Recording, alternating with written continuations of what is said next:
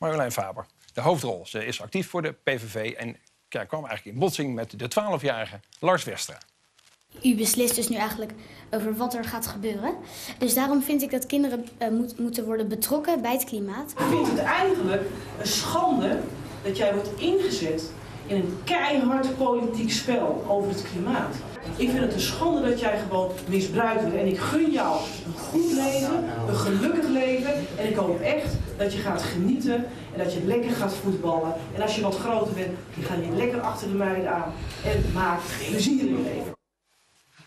Wat stoorde u zo aan het optreden van deze jongen? Nou, kijk, deze jongen die is eh, geïndoctrineerd en wordt gewoon geregistreerd door zijn vader. Zijn vader heeft hier een, eh, een eh, financieel belang bij. Die heeft een uh, duurzaamheid consultatiebureau. En deze jongen die is gewoon geïndoctrineerd, wordt voor zijn karretje gespannen. En ik vind dat een kind van 12, die moet gewoon een onbezorgde jeugd hebben. En die moet gewoon, wat ik al zei, gewoon lekker gaan voetballen en lekker gaan genieten van het leven. En ja, gun laat... die jongen een fijne jeugd en een onbezorgde jeugd. Ja, laten we met dat eerste beginnen, want wat hij moet doen of later moet hij misschien zelf weten. Maar u zegt hij is geïndoctrineerd. Ja. Hoe weet u dat? Nou, kijk, dit is een kind van 12. Hij is vanaf zijn negende jaar ingeschreven bij de Kamer van Koophandel. Nou, laten we eerlijk zijn. Welk kind komt op het idee om op negenjarige leeftijd... zich te gaan inschrijven bij de Kamer van Koophandel? En zijn vader die heeft hem gewoon daarin gepusht. En in feite heeft de vader misbruik gemaakt van de vertrouwensband... tussen een ouder en een kind. Ja, maar zijn ouders zeggen, ja, dit, dit is zoals hij is. Dit wil hij graag.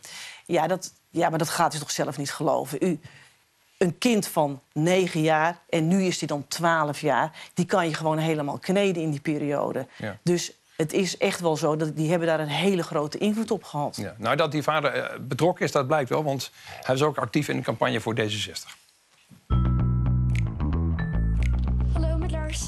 Hey Lars, met Rob. Hoe is het met jou? Ja, goed. Met jou? Ja, ook goed. Ik vond het superleuk dat je vorige week bij ons op bezoek was in de Tweede Kamer. Ja, ik vond het ook echt superleuk. Cool, ja, we hebben... Morgen ook een hele bijzondere dag, want morgen is het Prinsjesdag. Ik dacht, misschien is het ook leuk als jij voor één dag mijn Instagram-account wil overnemen. Ja, Rob, echt, ik heb er super veel zin in. Ja, ik zal je, ik zal je niet teleurstellen. Dit is wat, dit is wat u bedoelt. Ja, nou ja, wat is uh, bedoeld? Kijk, uh, wat ik al zei, deze jongen is gewoon vanaf heel jong van minstens vanaf negen jaar gewoon geïndoctrineerd. En hij wordt gewoon ingezet in een keihard politiek spel. Welke ouder zet nou een kwetsbaar kind in een kwetsbare leeftijd in op zo'n spel? Op zo'n, want politiek is gewoon hard. Ja. En het klimaatdebat is ook gewoon hard. Ja. Dat doe je gewoon niet. Als een volwassene zoiets dat- doet, dan ben je toch wel van het pad af, hoor. Maar is dat aan u of is dat aan zijn eigen ouders, ouders om dat te beoordelen? Het is natuurlijk, eh, de ouders die zijn verantwoordelijk voor het kind. Maar ik vind wel, je ziet dus ook, we hebben die Greta eh Thunberg, die zien we. Je ziet dat er steeds meer kinderen op het toneel worden gezet voor politiek gewin. Wat vindt u van Greta En dat vind ik Thunberg? dat. Dat, mag ik even mijn zin afmaken, alstublieft? Ja.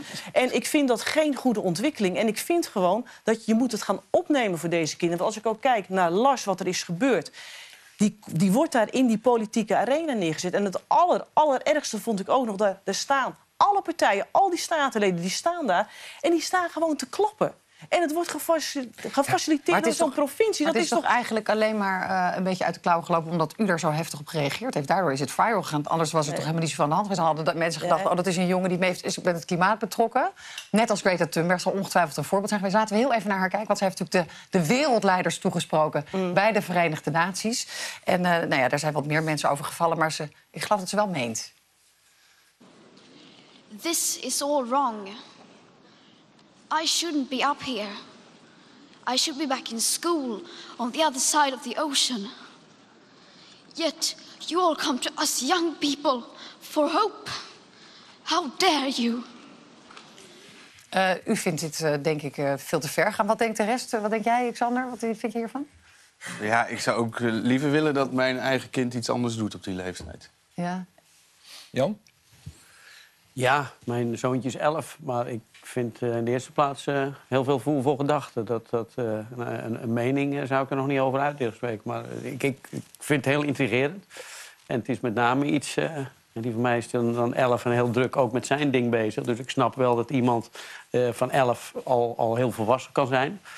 Maar ik vind het, eh, ik vind het heel moeilijk. Ik, Ja. ik, ik, ik ik dacht- zit er heel erg over na te denken. Ja. Ik dacht wel, mevrouw Faber, u heeft er ook voor gekozen om die jongen persoonlijk aan te spreken... en eh, zeg maar wel de harde politieke taal recht in zijn gezicht te uiten. Heeft u daar nog over getwijfeld dat u dacht misschien... nou ja, later maar, het is een kind. Nee, ik heb het juist voor die jongen opgenomen.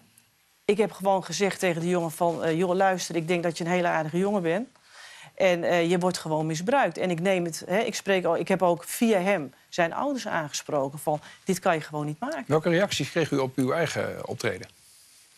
Ik kreeg heel veel goede reacties. Natuurlijk, er zijn ook reacties... Ja, die, zijn natuurlijk, hè, die vinden dat minder. Die vinden dat minder gedaan. Maar ik heb ook heel veel goede reacties gekregen. En vooral, eh, een van de goede reacties was van... nou, u heeft in ieder geval gewoon eh, het lef getoond... om dat eens een keertje ter discussie te brengen. Want de meeste mensen denken, oh, dit is een kind... oeh, nu moet ik oppassen, dit is heel link, dat is gevaarlijk. En in feite word je gewoon ook... eh, Chanteerd? ethisch word je gechanteerd, ja. Ja, ja. Want in feite word je als volwassene gelijk op achterstand gezet. Hè? Je dat kunt, is niet wat op er een kind, je kunt niet meer op een kind reageren. Nou, dat wordt heel moeilijk. En ik dacht wel van, nou, daar moet je dus overheen stappen. En ik denk ook dat je... Hè, je moet eigenlijk via het, het jongetje... moet jij gewoon zijn ouders aanspreken. Want ik vind, dit kan gewoon dus niet. Überhaupt niet. U vindt, vindt u dat kinderen zich niet moeten mengen in een politiek debat? Nee, ik vind een kind moet een kind zijn. En hè, als we dan eh, zo'n zo, zo'n Greta zien...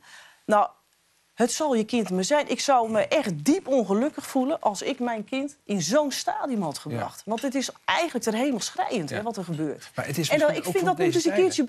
Nee, Maar heeft het ook, te- mag ik wat vragen, heeft het ook te maken met het onderwerp dat ze aansnijden? Dat u denkt, misschien als de PVV sowieso niet zo heel erg eh, onder de indruk van allerlei klimaatonderzoeken... en dat u denkt, daar komen die kinderen ook nog Nee, delen die daarover Nee. beginnen? Nee, kijk, voor mij staat het helemaal los van het onderwerp. En moet u zich eens voorstellen hè, dat ik een van mijn jongens vroeger als twaalfjarige op het podium had gezet... om te zeggen, we moeten de grenzen dicht doen. Want dat is beter voor mijn toekomst. Nou, dan was Nederland te klein geweest. Sterker nog, ik was misschien wel uit de ouderlijke macht ontzet. Nou zijn er laatst eh, andere jongeren geweest die ook zijn opgetreden in, eh, in protest. Hè. Er zijn eh, enorm veel boeren naar het Binnenhof gegaan... met kinderen op kleine trekkertjes van jong tot oud. Daar hebben we u eigenlijk helemaal niet over gehoord. Nee, dat klopt. Waar was u? Ik zat in de Kamer toen ik was toen aan het werk. Maar het is iets wat u enorm aan het hart gaat, dat kinderen niet mogen worden ingezet.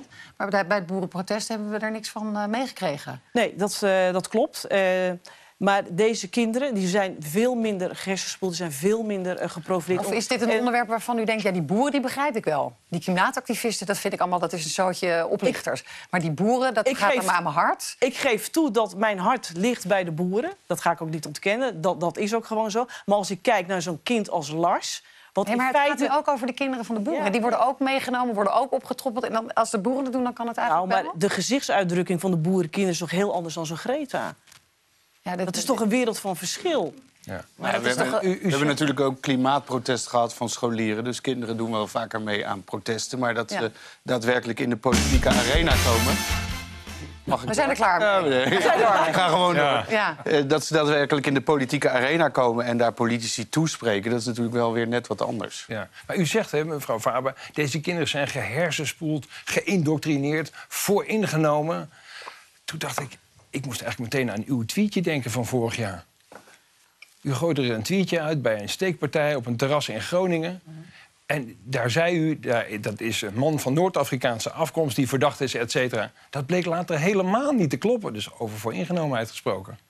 Kijk, dit, was een, eh, dit is een vrij ingewikkelde zaak over deze tweet. Er zit heel veel achter. Dat kan ik echt niet even in twee... Nee, nou laat ik het dan even doen. Dat kan Ja, ik niet. Jawel, nee, dan laat mij dat Ja, maar even u- doen. u vraagt het aan mij, Ja, dus maar ja. u, u kunt het niet samenvatten, ik wel. Er was een steekpartij op een terras in Groningen. Voordat daar iets over bekend was, twitterde u dat het een man van Noord-Afrikaanse afkomst was. Daar bleek later niets van te kloppen.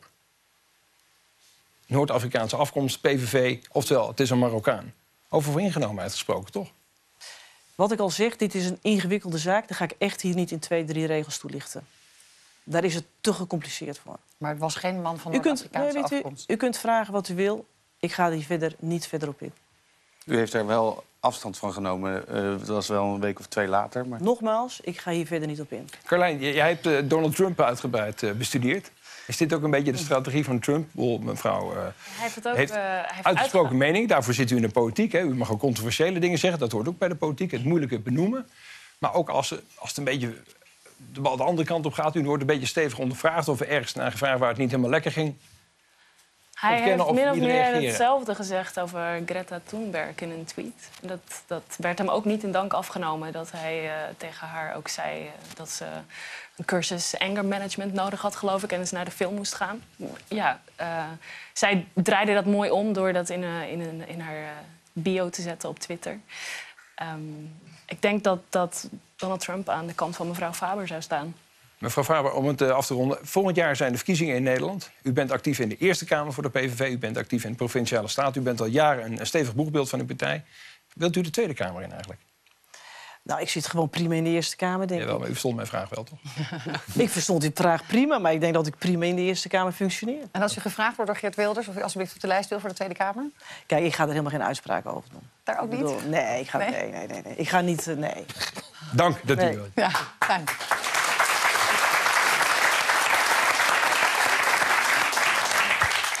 De pers